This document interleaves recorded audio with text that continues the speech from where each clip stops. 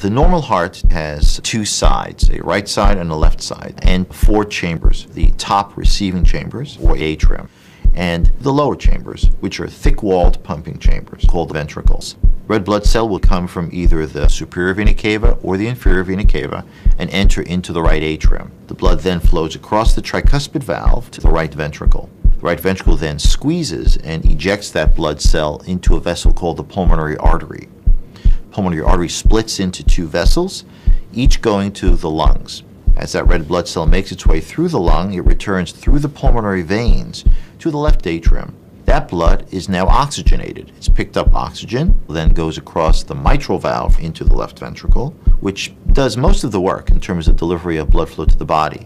That blood cell is now ejected into the aorta to some organ or muscle or skin in the human body.